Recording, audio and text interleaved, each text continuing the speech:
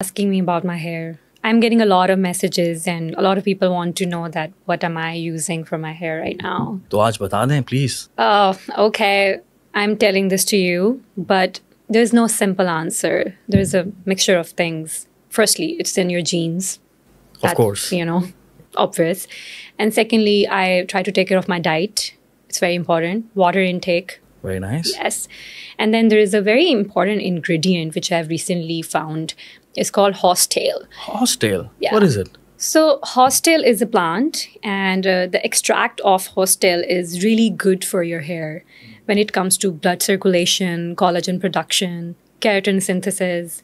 And if you're having issues with hair fall and uh, hair growth, it really helps you in those areas. Very nice. Yeah, you have done your research. Yeah, of course. I have to do my research.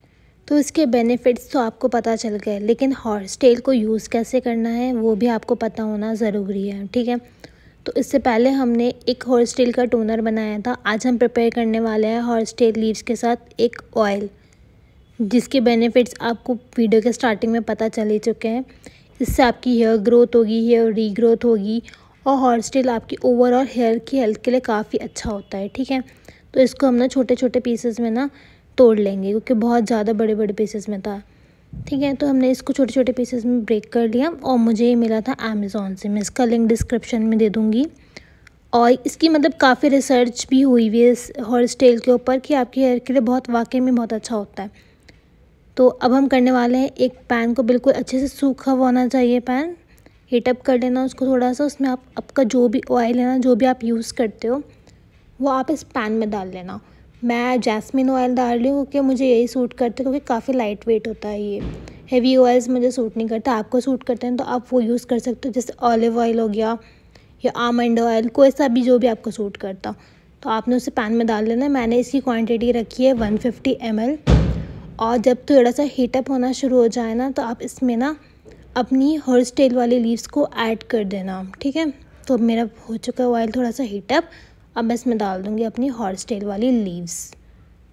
तो आपको भी अगर अपनी hair growth करनी है ना, आपको अच्छा सा सिरम वगैरह कुछ भी ढूंढ रहे हो, आपको किसी प्रोडक्ट का रिव्यू चाहिए या फिर आपको कोई भी क्वेरी वगैरह है तो कमेंट करके पूछ लेकर हम सबके कमेंट्स का रिप्लाई करते हैं।